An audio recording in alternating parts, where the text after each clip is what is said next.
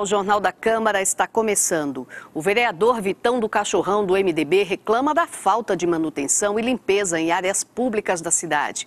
O parlamentar alerta para o perigo da sujeira e do mato alto, principalmente nas unidades de ensino infantil, e cobra providências à prefeitura. No meu ponto de vista e de todos da cidade, a Prefeitura Municipal de Sorocaba tem que ser exemplo. Para eles multar um proprietário que não limpa seu terreno particular, que não coloca uma calçada, que tem que colocar, que não coloca aquela muretinha, para eles multarem, eles têm que dar exemplo. E não é isso que está acontecendo na Secretaria do Meio Ambiente. A gente vem cobrando, teve até uma discussão aqui no plenário com o secretário, a gente tem mandado ofícios, requerimentos, a gente tem ligado pessoalmente e infelizmente não está acontecendo. Eu vou dar um exemplo aqui, alguns exemplos. A CI 95 do Vila Helena, ali do Jardim Califórnia, está com mais de dois metros o mato alto. Já faz mais de dois meses que eu estou cobrando. Fui chamado lá pela diretora, fui chamada lá pelas mães, pelos pais de alunos e continua do mesmo jeito. Já mandei a cópia do requerimento para o secretário do Meio Ambiente, já mandei fotos e ainda nada resolveu. Posso até encaminhar essa foto também aqui, como vocês veem aqui na TV Câmara. E aí ainda não foi limpo. Já teve reclamação de ser encontrado escorpiões, é, cobras, aranhas. E se pica uma criança? Essa CI, por exemplo, tem até creche de, de bebezinho de seis meses.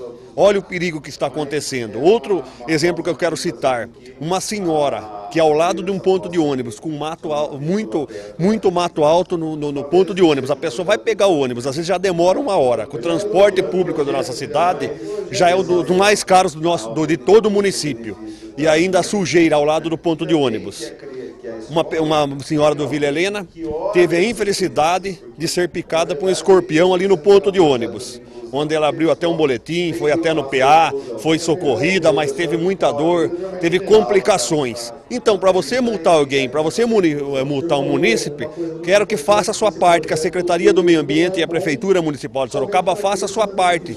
Limpe nossa cidade, limpe as praças públicas, limpe ali o posto de saúde ao redor, limpe ali próximo às escolas e dentro das escolas também. Não vamos desistir, porque chegamos aqui pela confiança da população. Demoramos 16 anos trabalhando como líder comunitário e Deus permitiu da gente ser eleito, porque nada acontece se não for pela vontade de Deus. Então, garra, vontade e cobrança pelas nossas crianças, pelos alunos, pelos professores e pela nossa cidade, a gente não vai desistir. Temos certeza e vamos continuar cobrando e implorando pela limpeza. Isso que eu quero agradecer também os pais, os alunos, os professores que me chamaram. E tem muitas CIs me ligando, ligando no nosso gabinete. Você pode ligar também no gabinete 19, o telefone é 3238 1149. Para fazer a sua denúncia, que nós vamos mandar o requerimento e mandar também o ofício pedindo a limpeza urgente. Tramitam na Câmara dois projetos de lei para garantir benefícios a crianças de Sorocaba nas áreas de educação e lazer. O autor das propostas é o vereador engenheiro Martinez, do PSDB. É um projeto em que eh, facilita a vida da família. Família que tem uma criança deficiente, que precisa de escola, deve matricular no seu próprio bairro. É esse o projeto. O senhor também apresentou um outro projeto que trata da questão das caixas de areia. Fala também para a gente. Então, o que a gente nota é que as caixas de areia, tanque de areia, tudo que as crianças é, participam e brincam, eles não são descontaminados. Portanto, isso causa diarreia, conjuntivite, várias, várias ações em que os pais nem sabem onde que a criança pegou essa doença. E na verdade são os tanques de areia com gato, cachorro, é, rato, escorpião, tudo aquilo que é possível dentro de um tanque de areia que passa e deixa, contamina, deixa seus ovos. Um requerimento do vereador Silvano Júnior, do PV, pede a manutenção de ruas e estradas do bairro Aparecidinha, na zona industrial. De acordo com o parlamentar, moradores têm reclamado das condições de preservação das vias que atendem a região. Foi procurado por vários moradores na Aparecidinha, Vila Amato, E a estrada está sem condições de, de, passar caminhão, de passar carro, o pessoal veio procurar esse vereador. Inclusive, a estrada está totalmente cheia de imóveis jogados, porque não tem, não tem manutenção nenhuma, a população fica jogando sofá, várias coisas, e fica juntando muito bicho peçonhento, aranhas, é, o que mais? Ratos. E, então a população está desesperada ali. Então estão entrando com esse requerimento para fazer a limpeza, com o secretário Fábio Pinão e também para fazer a manutenção da estrada. Entrar em contato com o vereador Silvano Júnior pelo telefone 3238 1131 ou pelo e-mail silvanojr.câmarasorocaba.sp.gov.br. Jornal da Câmara vai para um rápido intervalo.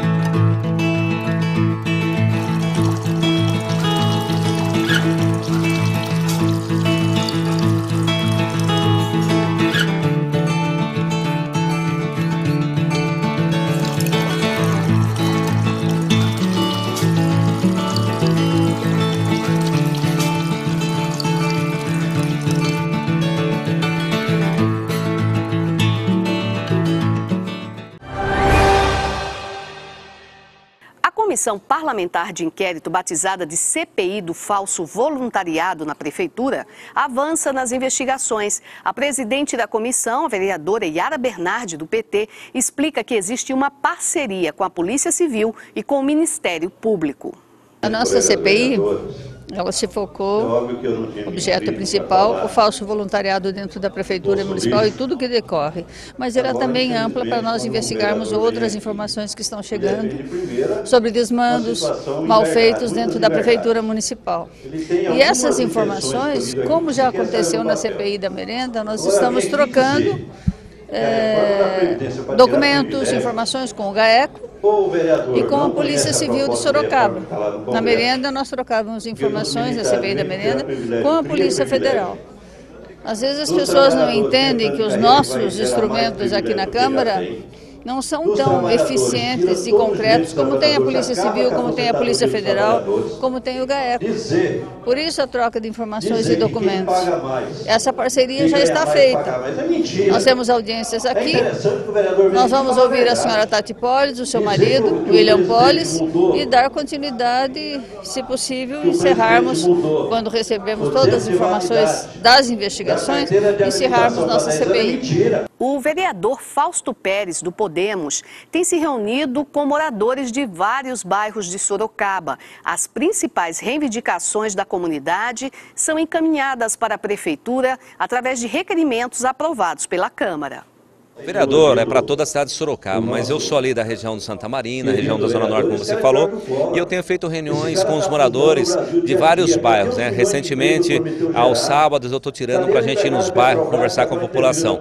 Nós temos ali o bairro Santa Luísa, com um bairro que já está completando também 30 anos aqui em Sorocaba, que é um bairro que já está praticamente esquecido pelo poder público. Lá não tem é, ruas de acesso para o Paineiras. Então, eu estive com os moradores ali cobrando uma passagem que liga ali um caminho entre entre o Paineiras e o Santa Luísa, principalmente é o caminho que as crianças vão para a escola do bairro Paineiras, que é a escola Basílio da Costa Daimon, onde os moradores estão revoltados porque está muito mato, né, nesse, nessa trilha tem muito mato, tem um esgoto que está a céu aberto e também não tem iluminação. Então nós cobramos aí é, com um requerimento junto à prefeitura para que vá lá dar uma atenção especial, abra-se uma trilha, conserte-se a pontinha de madeira que tem de passagem ali, que está com várias tábuas quebradas e também coloque uma iluminação pública para gerar segurança para os moradores da região do Santa Luísa com Paineiras. E estive também no Jardim Paulista no sábado, conversando com os moradores que têm o mesmo problema. Lá estão com as ruas com asfalto já danificado desde 2006, eu já venho cobrando aqui nessa casa para que haja um recapeamento em várias ruas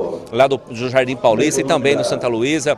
Cobramos também a implantação de academia ao ar livre e playground para os dois bairros que não têm esses equipamentos públicos e a população está cobrando constantemente isso. Então nós somos a voz dessa população, trouxe aqui para casa, coloquei em requerimento e vamos aguardar agora a boa vontade do poder público, dar uma atenção especial para esses bairros que estão muito tempo esquecidos lá na Zona Norte. O Jornal da Câmara fica por aqui. Nós voltamos com uma nova edição na próxima semana. Continue acompanhando a programação da TV Câmara e acesse nossos canais de comunicação na internet, no site, página do Facebook. Até lá.